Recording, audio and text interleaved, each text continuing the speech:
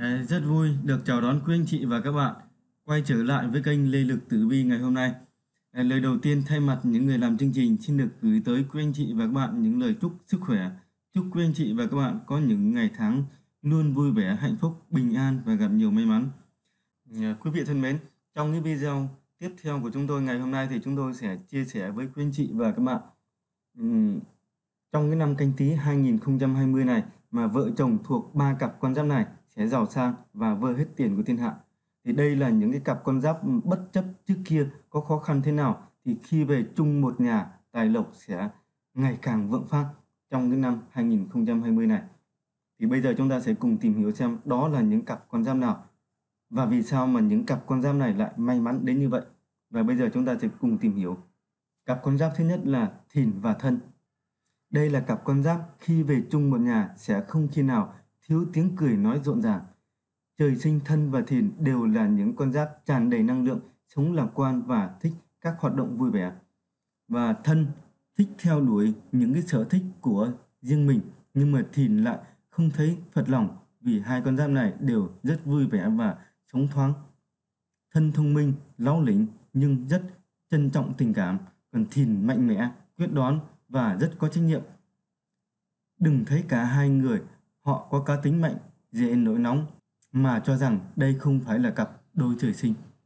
Với tính cách sống phong khoáng, nhiệt tình, giúp đỡ bạn bè, đây là cặp con giáp hứa hẹn có rất nhiều quý nhân và nhiều người sẵn sàng đưa tay giúp đỡ khi hai con giáp này gặp khó khăn. Sự nghiệp của cặp thân và thìn vì thế mà hứa hẹn rất sáng. Thân và thìn trước khi về chung một nhà đều là người uh, kiếm được tiền xong chẳng thể giữ nổi trong tay. Hãy an tâm rằng cả hai khi kết hợp sẽ khiến đôi bên cùng chuyển biến tích cực. Và theo tử vi thì trong năm canh tí 2020, vận trình của cặp con giáp này hứa hẹn nhiều biến chuyển tích cực, không chỉ cuộc sống gia đình ấm đầm ấm mà hạnh phúc sẽ ngày càng tăng.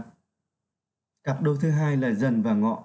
Theo à, theo tử vi thì tuổi dần và ngọ có thể nói chính là con giáp trời sinh giữa họ có rất nhiều điểm tương đồng như là đều có là những người lạc quan, hài hước và tràn đầy năng lượng sống. Trời sinh hai con giáp này vốn là người rất coi trọng trừ tín. Họ sống và có tham vọng, đều là những người có năng lực. Sẽ không có gì là ngạc nhiên khi mà tuổi dần và ngọ thấy à, thiện cảm với nhau ngay từ lần đầu gặp gỡ.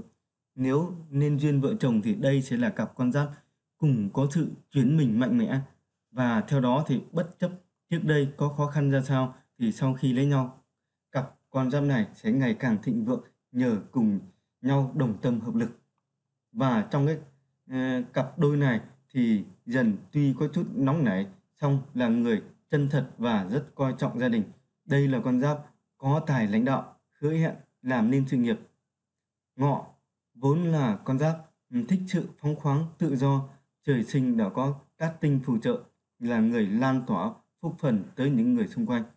Và hai con giáp này càng yêu thương gắn bó bên nhau thì vận trình càng viên mãn, không chỉ gia đạo êm ấm mà tài lộc cũng ngày càng vượng. Và cặp con giáp thứ ba đấy là cặp Sửu và Tỵ. Sửu Tỵ chính là cặp con giáp được thần tài che chở, hiếm khi mà phải lo lắng đến cái chuyện tiền bạc. Bản thân à, con giáp này đều là những người có tài vận sáng sau khi về chung một nhà tài lộc của gia đình sẽ càng vượng. Và trời sinh tuổi sửu vốn thật thà, ngay thẳng. Họ là những người mà không bao giờ vì danh vọng hay là tiền bạc mà bất chấp tất cả làm cái điều mà uh, trái lương tâm. Người tuổi này thường hiếm khi thành công lúc còn trẻ, song càng về già, vận trình sẽ càng suôn sẻ. Còn tuổi tỵ vận trình lại có phần khác khi con giáp này dễ đạt được thành công từ khi còn trẻ tuổi. Những chú rắn vốn rất uyển chuyển trong hành xử khéo léo và có cái khả năng quan sát tốt, nhạy bén trong thời cuộc. Họ là những người mà một khi đã quyết tâm thành công là điều mà nằm trong tầm tay. Hai con giáp này à, sau khi về chung một nhà sẽ cùng giúp đỡ nhau làm nên sự nghiệp. Theo tử vi thì cặp con giáp này um, còn vượng quý nhân vốn có năng lực nay lại có quý nhân dẫn đường chỉ lối vận trình ngày càng suôn sẻ và thông suốt hơn. Um, quý anh chị thân mến thì trên đây chúng tôi đã chia sẻ với quý anh chị và các bạn ba cặp con giáp giàu sang vơ hết tiền của thiên hạ trong năm 2020 này. Thì đây là những cặp con giáp bất chấp trước kia có khó khăn thế nào thì khi về chung một nhà thì tài lộc sẽ ngày càng vượng phát. Và xin được chúc mừng cặp ba con giáp có tên trên và chúc quý anh chị sẽ có những ngày tháng luôn vui vẻ, bình an và sẽ gặp được nhiều điều may mắn và thành công hơn nữa trong cuộc sống.